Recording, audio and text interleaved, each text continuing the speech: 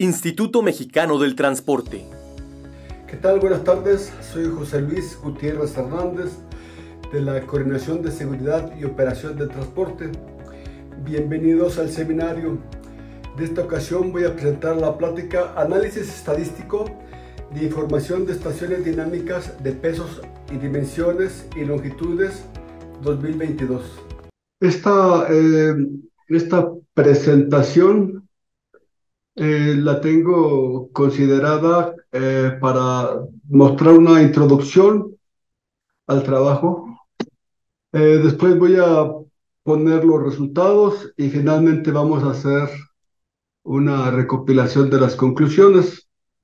Entonces, sabemos que tres de las variables reguladas por la normativa mexicana, la velocidad, la longitud de los vehículos y el peso y su peso bruto, el peso bruto es el peso del vehículo vacío más el peso de la carga, es el peso bruto vehicular. Entonces, eh, estas tres variables las comenzamos a estudiar desde 2019, pero con datos de 2016. Esto fue para la autopista México-Tuxpan. En esta investigación se, estudiaron dichas variables, pero para las carreteras Querétaro-Irapuato e Irapuato-La Piedad. Entonces, hasta 2021 estudiamos la México-Tuxpan y en esta ocasión estudiamos la Querétaro-Irapuato y la Irapuato-La Piedad. Vamos a platicar algo de las tres variables. El diseño geométrico de las carreteras eh, toma en cuenta la velocidad de proyecto como un factor primordial, es decir, una carretera, para ser diseñada eh, debe saberse para qué velocidades va a operar. El exceso de esa velocidad es uno de los factores de riesgo que impacta directamente y de forma negativa en las condiciones de, en las condiciones de conducción. Otro de los parámetros son las dimensiones de los vehículos, su largo, el ancho y lo alto. También se consideran en el diseño de carreteras especialmente para las curvas verticales y la altura libre debajo de puentes, lo que se conoce como gálibo. Entonces, las longitudes máximas de vehículos consideradas en las carreteras más antiguas han sido superadas por las configuraciones vehiculares que circulan en la actualidad. Los vehículos largos implican mayor tiempo para ser rebasados y en caso de curvas con carriles de ancho restringidos se puede presentar la invasión de estos. El peso bruto vehicular, ¿para qué se considera? Bueno, pues es para el diseño estructural de las carreteras, es decir, las carreteras, cuánto peso van a soportar. Cuando ese peso es este, excedido con frecuencia, lo que ocurre es de que las carreteras se deterioran y por lo tanto la seguridad de las carreteras eso aunado si es que no se le da mantenimiento a una carretera dañada. Entonces, estas variables, la velocidad, la longitud y el peso bruto vehicular, por sí solas, o junto con otros factores como las malas condiciones físico-mecánicas de los vehículos o configuraciones vehiculares, han incrementado el número de accidentes y con ello el número de lesionados y muertes. Eh, esta, en una ocasión ya dimos esta plática, pero para los años 2016, 17, 19, 20, 21, esa información fue para, como les dije, para los sistemas de monitoreo vehicular que, fueron, que están instalados en la autopista México-Tuxpan en dos sitios. Esos sistemas de monitoreo eh, clasifican los vehículos. Cuando un vehículo pasa por un sistema de monitoreo, el sistema eh, clasifica ese vehículo, mide su longitud y lo pesa y también toma la velocidad. El peso lo obtiene para el peso bruto vehicular y también el peso por ejes. En esta ocasión, lo que vamos a ver ahorita son los resultados de el análisis de información que fue recopilada en 16 estaciones, pero ahora para la autopista Querétaro-Itapuato aquí hay ocho estaciones e Irapuato La Piedad, que también son ocho estaciones. Entonces cambiamos de carretera. Eh, la carretera Querétaro-Irapuato, de Querétaro a Irapuato, tiene una longitud de casi 105 kilómetros. Está, se desarrolla en un terreno plano, en un 80%, y un lumerío suave en un 20%. La Irapuato-La Piedad, esa tiene una longitud de 85 kilómetros y pues es muy parecido, 83% en terreno plano y 17 en terreno suave o lomerío suave. Eh, ambas carreteras son libres de peaje, pertenecen al título de concesión otorgado por la Secretaría de Infraestructura, Comunicaciones y Transportes al FONADIN, es el Fondo Nacional de Infraestructura. De acuerdo con las especificaciones de la Secretaría de Infraestructura, Comunicación y Transportes, la, la carretera Querétaro-Irapuato se clasifica como eje de transporte de cuatro carriles y la Irapuato-La Piedad se clasifica como carretera tipo A de cuatro carriles. El objetivo de este estudio es continuar con el análisis de estas tres variables que iniciamos en el 2019 y en esta ocasión para las estaciones registradas, para las estaciones ubicadas en estas dos carreteras en 2022. Las estaciones de monitoreo se encuentran en estos kilometrajes para cada una de las carreteras. Cada una tiene ocho sistemas de monitoreo. Entonces, eh, voy a mostrarles los resultados que, de esta investigación, los registros. Para cada una de las estaciones obtuvimos esta cantidad de registros. Eh, en la Irapuato Querétaro, perdón, aquí es Querétaro, Querétaro Irapuato, entonces está eh, al revés el nombre. Aquí en la estación 2 fue donde más registros se obtuvieron, que fueron 14 millones de registros. ¿Qué es un registro? Es la circulación de un vehículo por un sistema de monitoreo. Entonces, en el sistema de monitoreo 2, en el segundo, eh, en el segundo punto, en ese se registraron 14 millones de vehículos. En total, tenemos 163 un poco más de 163 millones de registros a lo largo de todo el año del 2022. 163 millones de registros es mucho, es poco. Aquí unas cifras para hacer una comparación. En los 27 años que realizamos el estudio estadístico de campo del autotransporte nacional, en esos 27 años en total obtuvimos 6 millones de registros, bueno, casi 7 millones de registros. Eh, cuando empezó el estudio que estamos eh, comentando ahorita, que ha sido desarrollado en 5 años, sobre la México-Tuxpan, en 5 años obtuvimos casi 15 millones de registros. Entonces, en este año, 163 millones de registros, pues son muchos les digo, comparados con todos los obtenidos para el ECAN en 27 años y con todos los obtenidos para una carretera en 5 años. Eso da una idea de lo que estamos procesando en esta ocasión.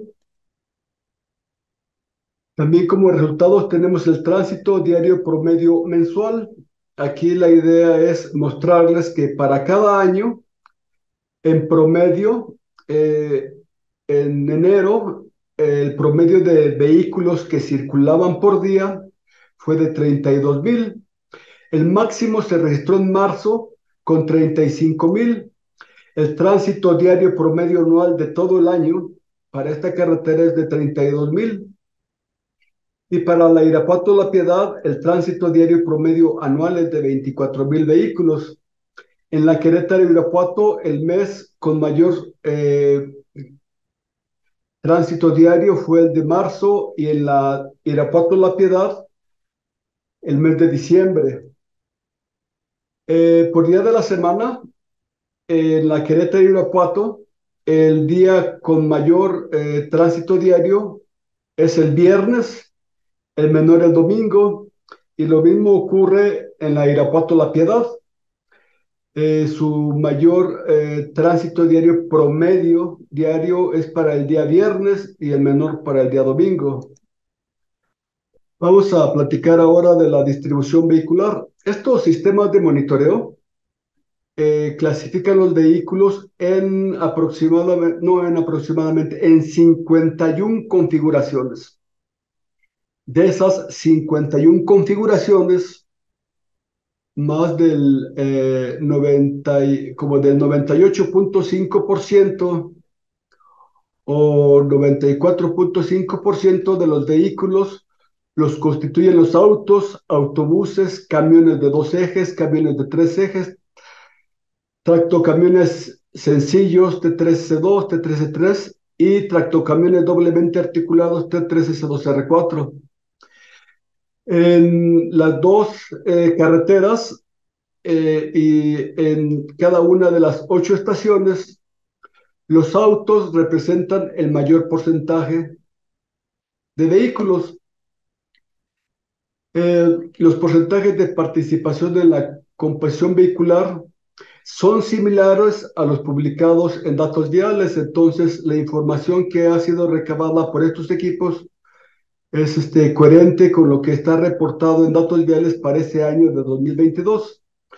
Si bien es cierto que los autos son los que, son los que, los, bueno, en este caso, a, en realidad no son solamente autos, sino son autos y también este, las pickups o lo que se, denomina, se conoce como vehículos utilitarios, aunque en general son los que mayor participan en, el, en las horas del día, de las 0 a las 23 horas, en la Querétaro y Irapuato, eh, de las 10 de la noche del día anterior hasta las 5 de la mañana del siguiente día, la mayor proporción es de vehículos de carga.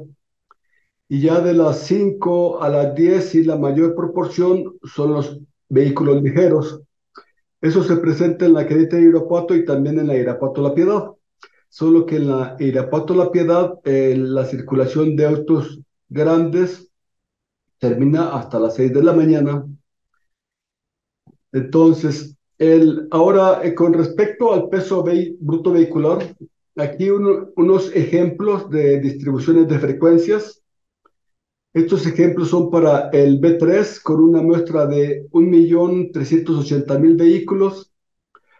Aquí tenemos un histograma de frecuencias para el peso bruto. En rojo significa que hasta ahí está su peso bruto vehicular máximo autorizado.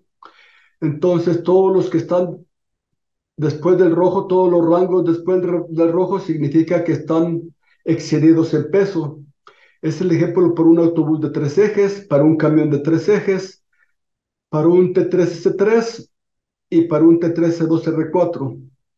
Aquí en esta, en esta distribución del T3S3, yo quiero suponer que esta, esta, primera, este, esta primera parte es para vehículos vacíos y esta segunda parte es para vehículos cargados. Igual para el T3C2R4, yo supondría que con base en los datos que se, han se obtuvieron para el EECAN, estos son vacíos y estos son cargados. Estos son ejemplos de histogramas de frecuencias para la quereta Aeropato. En el peso bruto vehicular no pongo autos, ni motocicletas, ni utilitarios, porque esos no están regulados por la norma mexicana. Eh, los pesos brutos vehiculares promedio para Querétaro Irapuato y para Irapuato La Piedad para los autobuses, camiones sencillos, tractocamiones sencillos y para el tractocamión doblemente articulado que tienen estos valores máximos para cada uno de los eh, vehículos y para cada una de las ocho estaciones para cada uno. Entonces, ese peso bruto vehicular promedio en el caso de los C2 es un valor muy pequeño a mí lo que me dice es de que los sistemas de monitoreo tienen un poco de problemas para los camiones de dos ejes y los demás están bien. Entonces, otra cosa que podemos ver es este, el T3S204, que tiene como máximo 66.5 toneladas. En algunos casos, solo el promedio es mayor que el peso máximo autorizado.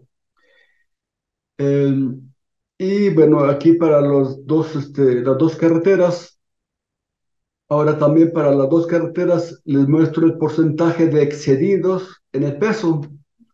Entonces, los autobuses de tres ejes, en esta estación, el 40% sobrepasa el peso máximo autorizado. Para el T3S3, el 58% sobrepasa el peso autorizado. Aquí este porcentaje es para todos los vehículos. No sabemos si los autobuses van cargados, pues, es decir, los, autobús, los tractocamiones llevan carga o van vacíos, pero del total, aquí en este caso el 58%, el 50%, el 56%, el 45% son tractocamiones que exceden el peso máximo autorizado. Y en el caso de la Irapuato La Piedad, los autobuses de dos ejes, los autobuses de tres ejes, los tractocamiones T3C3, en algún lugar el 60% o 50% 39%, 30% exceden el peso máximo permitido. Ahora, con respecto a la velocidad, eh, la velocidad está este, eh, normada por el, la norma 12, y, pero también está normada por el señalamiento indicado en las carreteras, entonces con el apoyo de una persona que hizo sus prácticas nos ayudó a encontrar en, a lo largo de las dos carreteras con el Google Earth eh, los señalamientos con la velocidad máxima autorizada. En la Querétaro Irapuato, la velocidad máxima autorizada en todo su recorrido desde Querétaro hasta Irapuato es de 90 kilómetros por hora. No hay ningún letrero que sea superior a 90 kilómetros por hora. En la Irapuato La Piedad, la velocidad máxima es de 110 kilómetros por hora. Aquí también ejemplos, bueno, aquí ya son todos los histogramas de frecuencias de la, de la velocidad encontrada para las motos, los vehículos ligeros que son autos y utilitarios, los autobuses, que son los autobuses de dos ejes y de tres ejes, y para todos los vehículos de carga, el C2, el C3, el T3S2, el T3S3, el T3S2R4.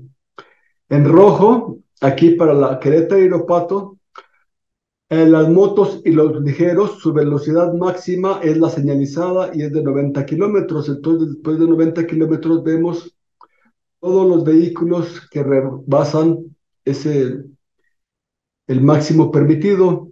Eh, y en el caso de los autobuses, que también en otras carreteras es de 95 kilómetros, pero aquí como el señalamiento dice no pueden ir a más de 90, y los de carga, aunque el señalamiento es de 90 kilómetros por hora, el reglamento de pesos y dimensiones dice que los vehículos de carga para este tipo de carreteras, para este tipo de carretera, no debe de ser mayor a 80 kilómetros por hora. Entonces, aquí vemos la gran cantidad de vehículos para las diferentes configuraciones que van con un exceso de velocidad. Esto es la Querétaro Irapuato que tiene para los motos, para las motocicletas y los ligeros, como máximo 90 kilómetros por hora. En el caso de la Irapuato La Piedad, que son, que aquí tenemos 110 kilómetros por hora como máximo, eh, también tenemos sus histogramas de frecuencias y vemos, este, eh, aquí tenemos, por ejemplo, que 74 millones de vehículos ligeros que, se obtienen para esta carretera, Vemos eh, cuántos superan los 110 kilómetros. Para más de medio millón de motocicletas, ¿cuántas superan la velocidad? Para los autobuses, para casi 5 millones de autobuses registrados, en este caso sí, la velocidad máxima es de 95 kilómetros por hora y después de 95 vemos todos los que exceden esa velocidad. En promedio, en la Querétaro Irapuato, vemos que las motos, simplemente la media, la media de, operación, la media del, promedio de la velocidad, en las motos casi en todas las estaciones excede la pura media. Los autos en todas las estaciones superan la media y este, superan, perdón, los 90 kilómetros por. La media en todos los casos supera los 90 kilómetros permitidos para los utilitarios y para los demás vehículos. Vemos que en muchos casos, aquí indicados en negro, son vehículos que su promedio excede eh, lo máximo permitido. Aquí dijimos que son 90 eh, kilómetros por hora máximo para estos vehículos y en este caso 110 kilómetros máximos para estos vehículos y vemos que algunos medias, algunos promedios de la velocidad superan el máximo permitido. En cambio, en el caso de los eh, vehículos de carga, casi en todos los casos el promedio de velocidad supera el máximo permitido. Y aquí tenemos el porcentaje de excedidos. En el caso de Querétaro y Irapuato, los autos eh, exceden la velocidad en más del 77%, del 52%, y en la Irapuato, la, Irapuato a la Piedad, los T13-2 son los que generalmente van a mayor velocidad. Entonces, ahora vamos a ver la longitud. La longitud solamente también se presenta para los autobuses, para los camiones y para los tractocamiones simples o doblemente articulados, porque la longitud no está normada, no, no existe una norma o no está reglamentada para autos o vehículos utilitarios. Aquí, eh, igual que en el otro caso, en rojo, eh, los autobuses B3 que son mayores de 14 metros, los C3 que son mayores de 14 metros, los T3C2 que superan 20, 23 eh, metros y los T3C2R4, entonces Vemos también que una buena proporción de vehículos excede la longitud máxima permitida. Aquí ejemplo es para la Querétaro Irapuato. Aquí las medias para cada una de las carreteras y para cada uno de los sitios de monitoreo.